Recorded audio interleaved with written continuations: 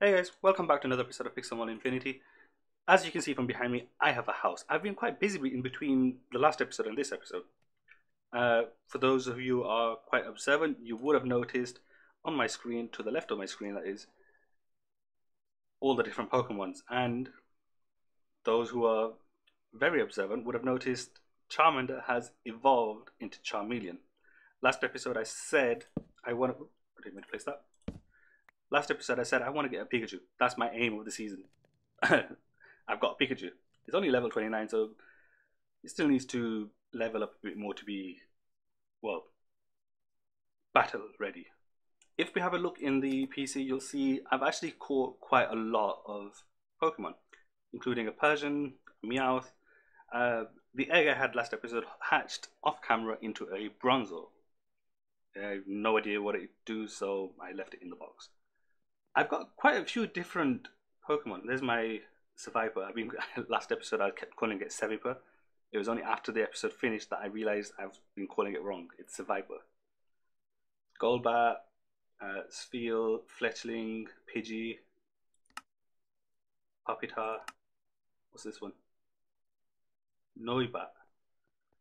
I, I I've never heard of some of these ones, but then that's to be expected because I haven't really been paying attention to Pokemon.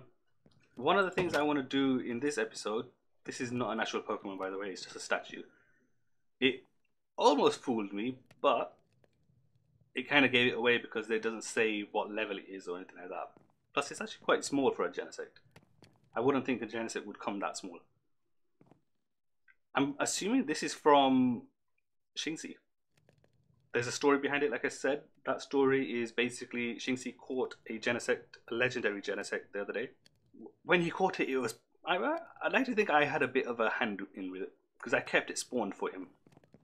It did. It spawned like over there somewhere, and it was just about to despawn, and I started a battle with it so that Shinxie could come and, well, try and capture it, and he did.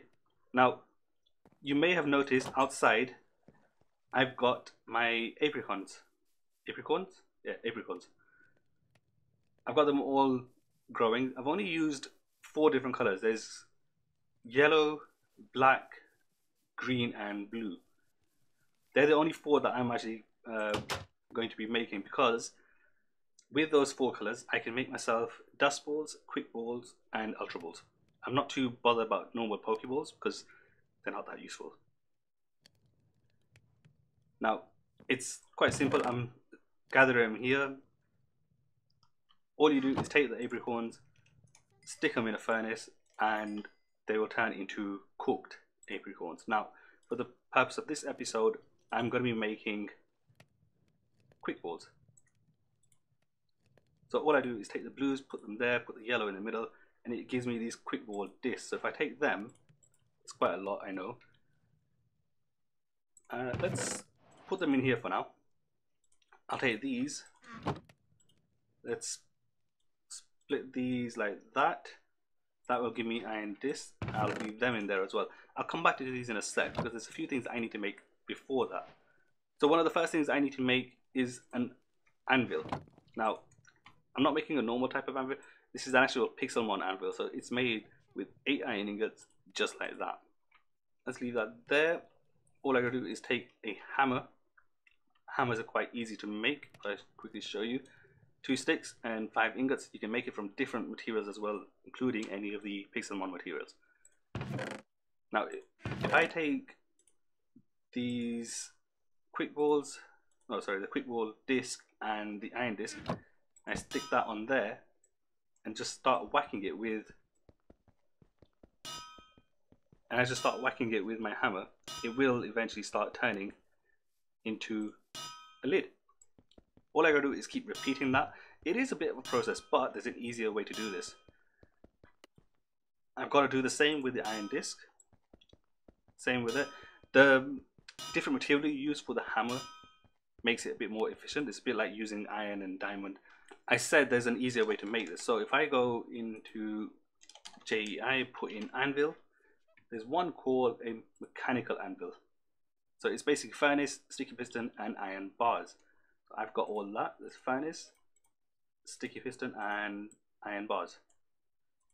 that will give me a mechanical anvil. If I place that down just here, it looks a bit weird.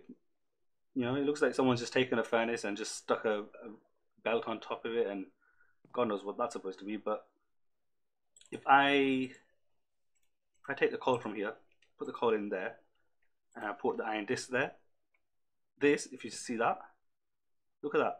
I love the animation though. That's amazing. It does it all automatically. So now, once I have the quick ball lid and the iron base, all I gotta do is place it in an inventory slot with inventory slot, sorry, in the crafting station with a button in the middle, and that will give me a quick ball. Now, I did actually run out of Pokeballs. I have, it came to a point where I only had like four regular Pokeballs left from the starter ones that we had. Shinxie was kind enough to give me Ultra Balls, Quick Balls, and a stack of Dusk Balls. The next item that I need to make is called Healer. Healer is made from one diamond, four iron ingots, and four aluminum plates in the corners. Now, aluminum plates, very simple to make. All you do, same way you make the uh, Pokeball lids, place one on there and just start hitting it. It will eventually fatten it out, and that would become the aluminum plate. There we go. That's an aluminum plate. All I gotta do is do the same for the rest, and I'll be ready to make my healer.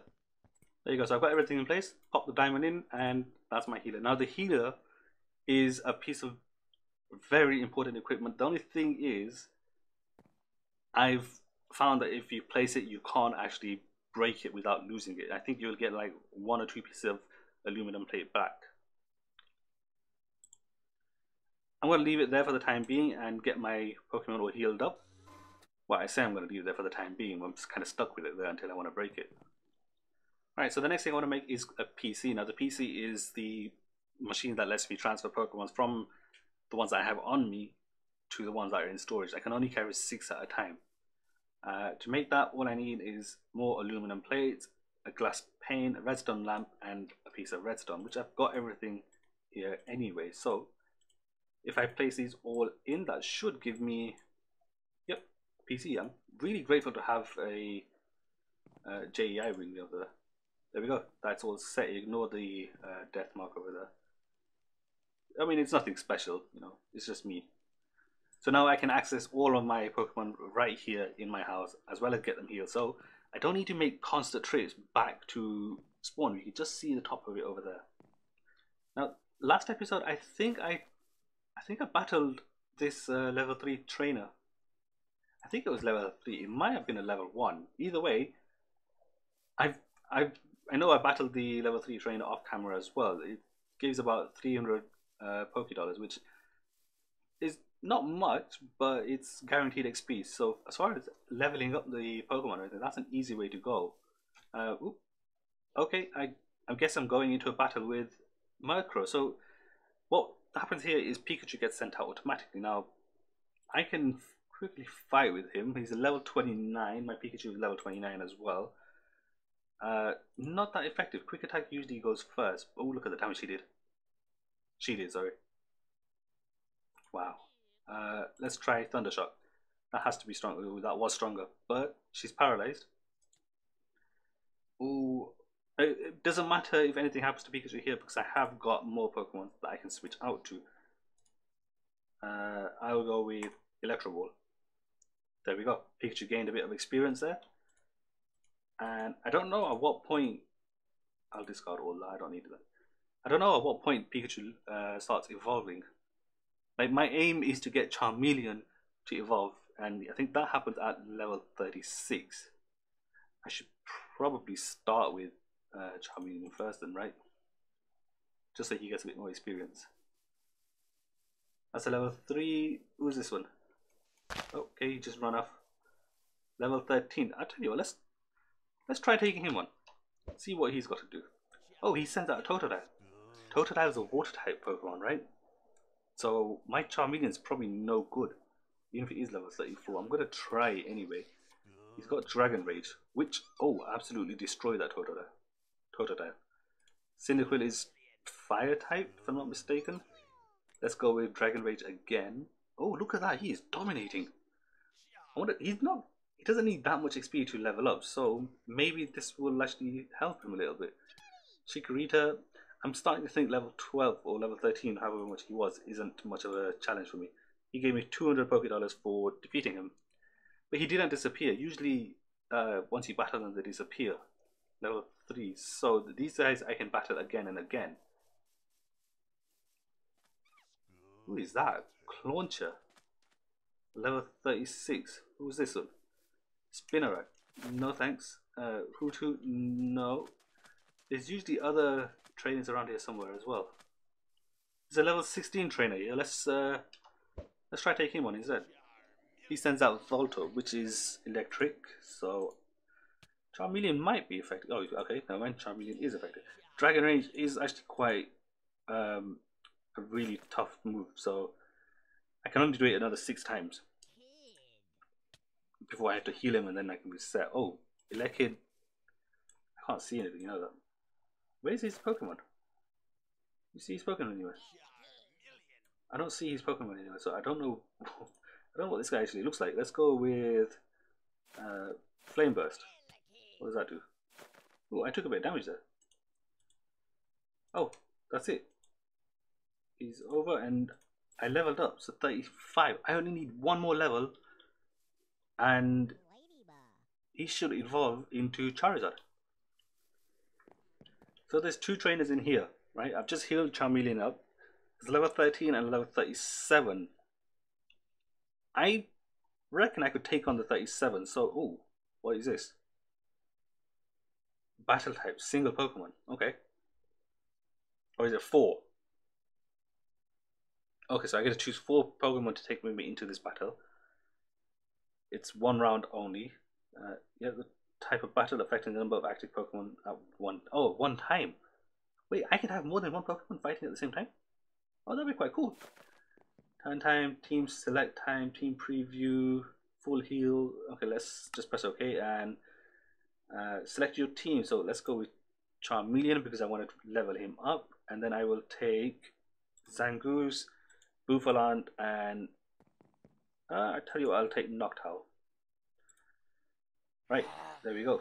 Charmeleon. Oh, look at that. What is that? It's a Houndoom. Level 38. This might not be the best choice. All I gotta make sure Charmeleon doesn't faint.